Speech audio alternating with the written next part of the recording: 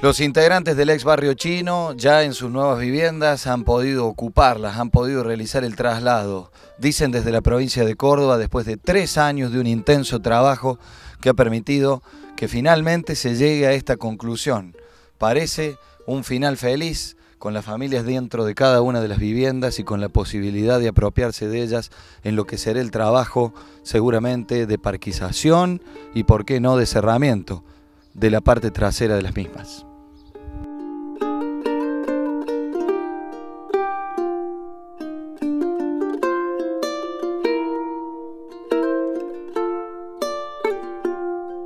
Sí, eh, para empezar es un traslado, ¿sí?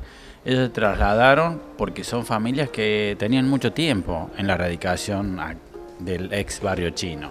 Eh, hablamos de familias de 50 años que han hecho toda su vida, han tenido sus hijos, sus nietos y ahora sus bisnietos. Entonces esto es un traslado y sí, ha concluido en el día de ayer, hemos terminado la demolición y limpieza del ex barrio chino con la saludable situación de las nuevas familias integrándose al barrio Paraíso. Un trabajo que va mucho más allá de la vivienda nueva y el, y el, hecho de, trasladarse, sino que se ha tratado desde muchas aristas. Es que es la manera que, en la que vemos podemos avanzar eh, sin esos retrocesos traumáticos que suelen ocurrir cuando se habla de que terminadas las viviendas, por ejemplo, no se quieren trasladar. ¿sí? Acá trabajamos con eh, el tema de educación, o sea, ellos querían lotes que estuviesen cerca de escuelas, con el tema de salud, con el tema de promoción laboral, buscando que también tuviesen un espacio en donde trabajar, dado que ellos en el ex barrio chino construían sus ladrillos block, los vendían. Entonces ese trabajo permitió que concluían las viviendas luego de sí, tres años de gestión, eh, fuese eh, más natural, fuese requerido por ellos el traslado. ¿sí? Llegó un momento en que, aún quedando algunos temas de concluir, ellos plantearon, bueno, ya está bien, nos queremos trasladar y eso empezó a ocurrir el viernes pasado. Son eh, en definitiva 11 viviendas. Son 11 viviendas, sí, son 11 familias con distinta composición.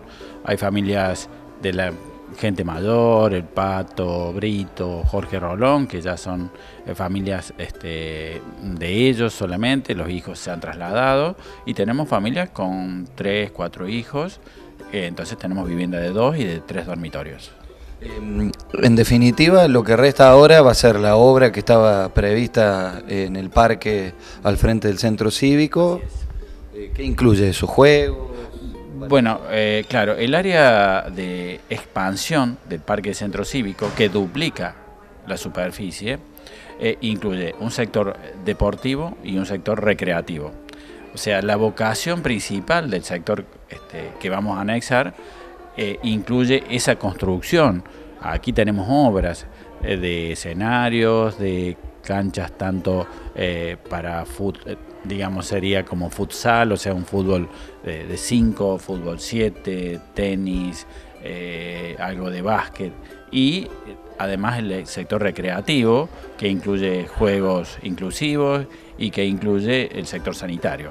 Esa es la obra que se está concluyendo hacia mitad de noviembre, está en plazo, siempre que el clima acompañe, son obras 100% en el exterior y por eso también es importante eh, liberar este sector porque es el sector de expansión verde que va a tener con nueva forestación, con nueva iluminación. Con respecto al nuevo barrio o al lugar nuevo de quienes habitaban el ex barrio chino, ¿les han quedado inconclusa alguna situación o ya está todo terminado? No, las viviendas están 100% terminadas, habitadas, todas están habitadas.